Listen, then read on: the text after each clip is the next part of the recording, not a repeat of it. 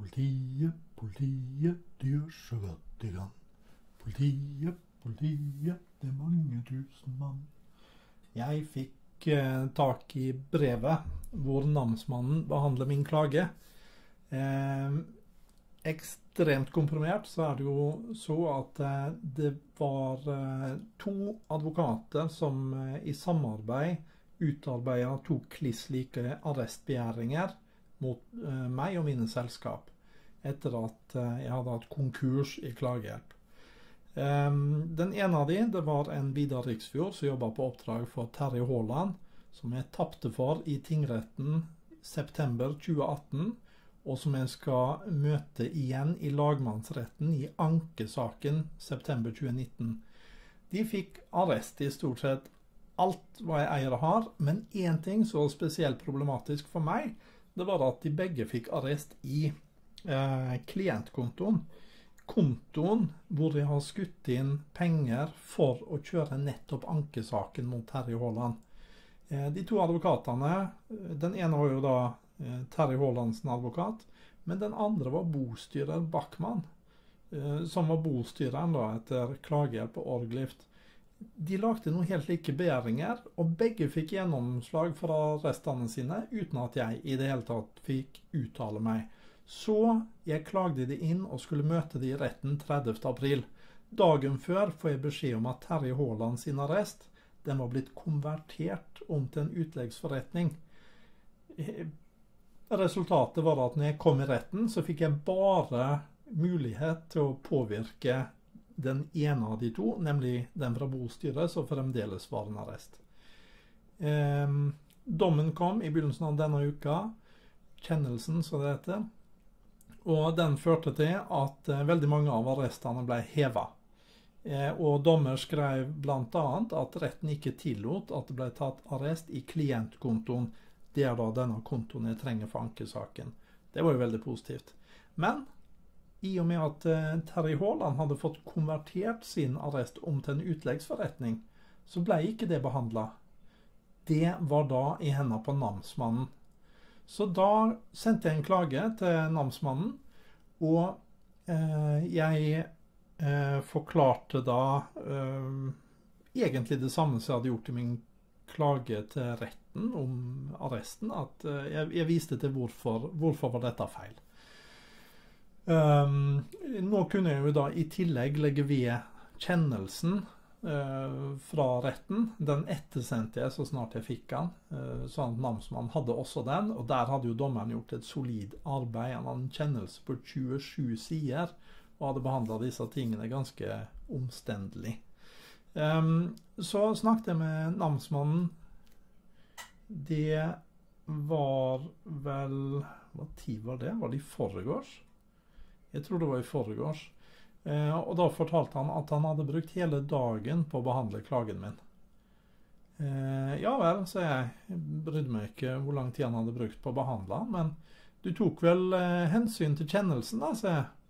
Nei, det måtte han innrømme at den kjennelsen på 27 sider, den hadde han ikke lest. Veldig rart han sa 27 sider hvis han ikke hadde lest den, for du må nesten bla til siste side for å vite det. I hvert fall, den hadde han ikke lest. Så han hadde da behandla klagen min uten å se på hva en dommer i tingretten eh, hadde brukt mengder av tid og krefter på å behandle. Merkelig. Eh, og ekstremt merkelig all den tid jeg sendte kjennelsen til namsmannen dagen før han behandla den. Så um, jeg la ved eh, det er jo et helt overraskende tynt brev han har kommet med, hvor han skriver eh, at namsmann har vurdert klagens innhold. OK, hvordan? Det står det ingenting om. Jf. tvangsfullbyrdelsesloven paragraf 516. Etter en nærmere vurdering har namsmannen besluttet å opprettholde sin avgjørelse. Namsmannen kan ikke se at det er grunnlag for å omgjøre beslutningen. Så det vil si, selv om dommeren var helt klar på at eh, det ikke var tillatt å ta arrest i denne klientkontoen, så har namsmannen latt være å bry seg om det. Kanskje han lest det og tenkt 'oi, det likte jeg ikke', jeg bare sier jeg ikke har lest den, jeg. Eller kanskje har han ikke lest den. Det er ekstremt merkelig det jo i så fall, i og med at han hadde den på pulten før han begynte å behandle klagen. Så han har endt opp med at nei, han vil ikke endre på noen ting. Så selv om dommeren hever arresten, da, så er det fremdeles en utleggsforretning i den samme forbannede klientkontoen. En må begynne å lure på hva for noen dødnakker som styrer her i vårt lille land. Men i hvert fall eh, I morgen får jeg komme i kontakt med tingretten. Eh, jeg var i kontakt med de gjennom dagen i går. Da mottok de allerede dette brevet fra namsmannen. Eh, I dag eh, var jeg i kontakt med det ganske tidlig. Da hadde jeg ikke fått noe. Men nå har jo til og med jeg fått tak i en kopi, så nå må den ha fått det. Så i morgen håper jeg at jeg får noe. Eh,